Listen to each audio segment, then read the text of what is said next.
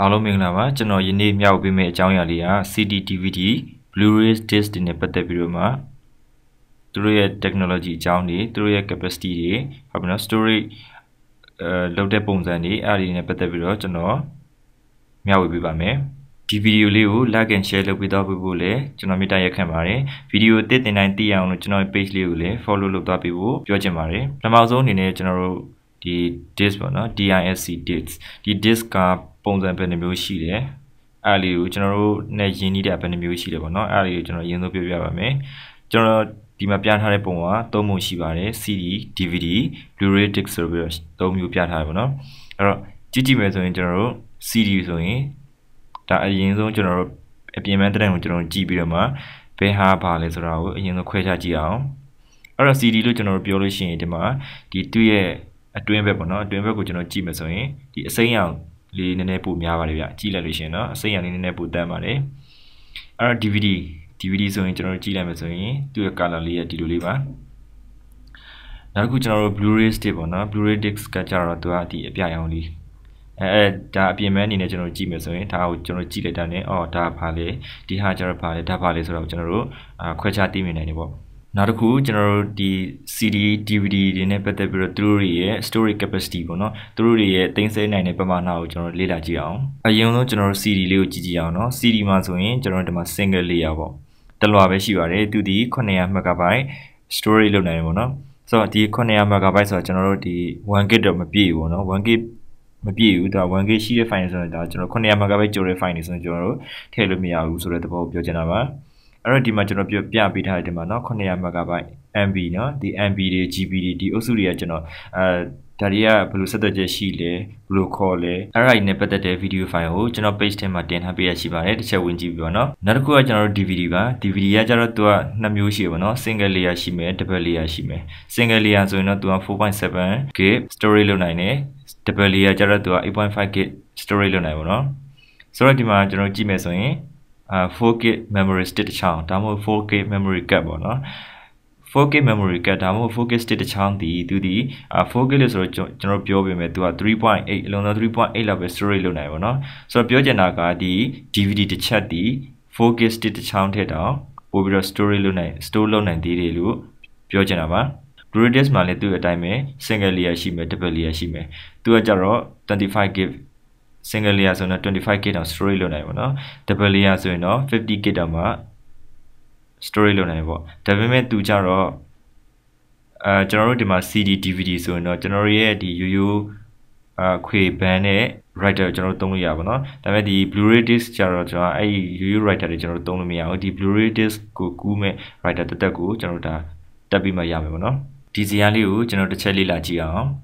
ဒီမှာဆိုရင်ကျွန်တော်တို့ CD DVD Blu-ray disc ဆိုပြီးတော့ကျွန်တော်သုံးခုလုပ်ထားပေးပါတယ်အဲ့မှာဆိုရင်ကျွန်တော်ဒီမှာ single layer double layer ဟုတ်ပြီနော်ခုနလည်းကျွန်တော်ရှေ့ကရှေ့မှာလည်းကျွန်တော်ပြောခဲ့ပါတယ်အဲ့တော့ CD ဒီ900 MB storage လုပ်နိုင်တယ်သူ့မှာ double layer တော့မရှိဘူး laser color ပေါ့နော် laser color ကျွန်တော် red နဲ့သွားပါတယ်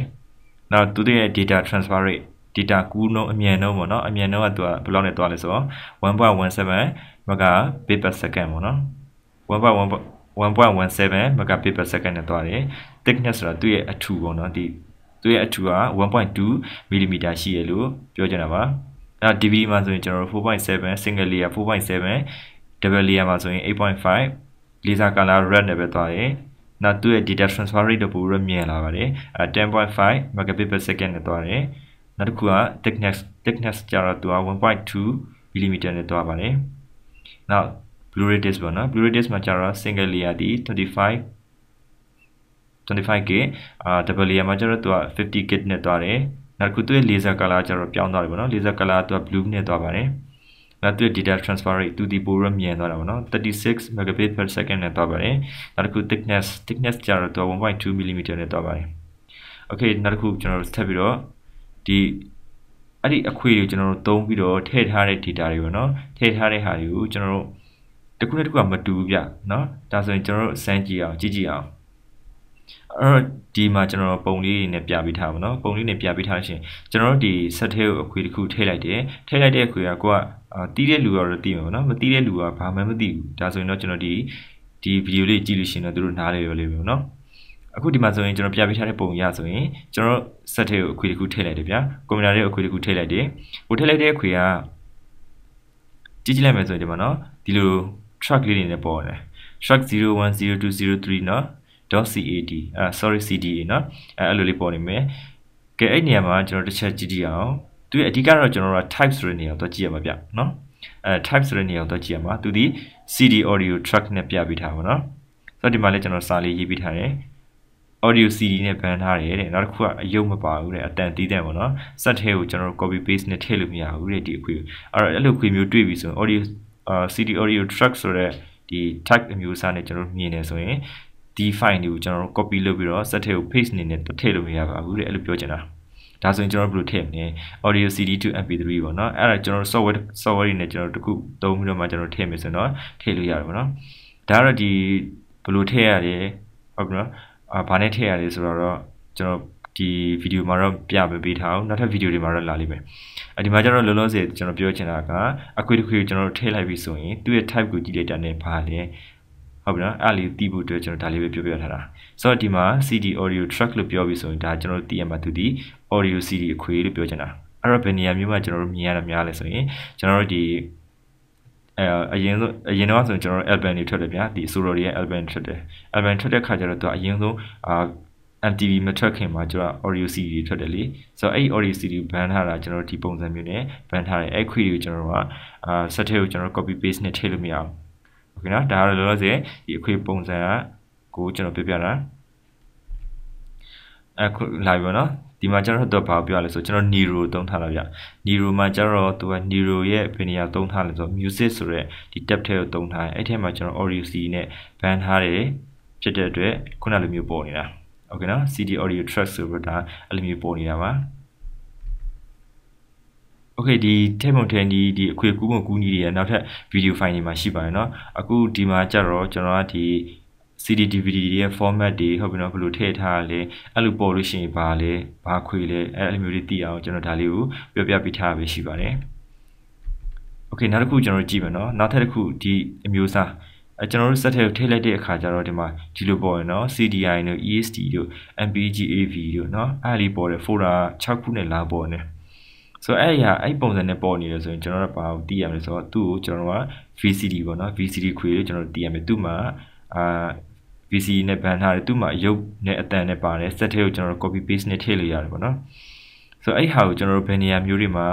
အများဆုံးမြင်ရလဲဆိုတော့ကျွန်တော်တို့အရင်အရင်တော့ခွေငါးကြည့်ရဗျာဗမာကားတွေအဲအဲ့ဒါဆိုရင် CD ခွေတွေသူတို့ကတုံးတယ်ဒီ VCD ခွေတွေပေါ့နော်အဲ့ဒါတွေကိုသူတို့ကဒီပုံစံမျိုးတွေကျွန်တော်တို့မြင်ရတာများတယ်နော်အာ set ထဲထည့်ကြည့်လိုက်လို့ရှိရင်ဒီပုံစံမျိုးတွေပေါ်နေပါတယ် နောက်တစ်ခုကျွန်တော်တို့သူ့အဲ Nero နဲ့ ban မယ်ဆိုရင်ပေါ့နော် Nero နဲ့ ban မယ်ဆိုရင်ကျွန်တော်တို့ဘယ်နေရာမှာတွားပြီးတော့ဘယ်လို ban ထားလဲဆိုတော့ဒီမှာ video picture ဆိုတဲ့ tab ထဲကိုသူသွားတယ်အဲ့ထဲမှာ video CD ဆိုတာနဲ့သူတို့ ban ထားလို့ခုနလိုမျိုးဒီလို folder လေး6ခုနဲ့လာပြီးတော့ပုံတာပေါ့နော်နောက်တစ်ခုကျွန်တော်ဒီမှာ DVD ခွေပေါ့နော် DVD ခွေ DVD video file ပေါ့နော်သူက DVD video file ဖြစ်တယ် set ထဲကိုကျွန်တော်တို့ copy paste နဲ့ထည့်လို့ရတယ်အယုတ်လည်းပါတယ်အတန်းလည်းပါတယ်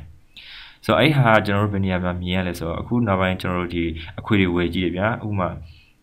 တထောင်ဘူး35ခွေလေအဲ့လိုမျိုးလေးအဲရုပ်ရှင်ကားတွေအဲ့လိုမျိုးနော်အခွေဆိုင်တွေကူးခွေတွေမှာရောင်းတဲ့ဟာလေးတွေပေါ့နော်ကျွန်တော်တို့ main menu တွေပါကျွန်တော်တို့ဖော်လို့ရဗျာဥပမာ asset နဲ့ကြည့်တဲ့အခါကျ menu လေးတွေဖော်ရတဲ့အဲပြီးလို့ရှိရင်ကိုကြက်တဲ့ကားရွေးလိုက်တယ်ပေါ့အဲအဲ့ဒါဆိုရင် तू က तू ကအဲဒီ DVD file တွေကိုအဲဒီလိုပုံစံမျိုးထည့်ထားတာဗျာဆိုတော့အဲ့ဒီဒီမှာ video အာ တန် folder နှစ်ခုပဲပါတယ်ဗျာနော် audio ရယ် video ရယ် audio ds ရယ် video ds ရယ်ဆိုပြီးတော့သူက folder နှစ်ခုပဲပါတယ်ကျွန်တော်တို့အခွေတစ်ခွေကိုဆက်လက်ထည့်လိုက်လို့ဒီ folder နှစ်ခုပဲကျွန်တော်တို့မြင်ရပြီဆိုရင်သူ့ကိုကျွန်တော်တို့သိရမှာ dvd အခွေဆိုတော့ကျွန်တော်သိရမယ်ဟုတ်ပြီနော် dvd အခွေဆိုတော့သိရမယ်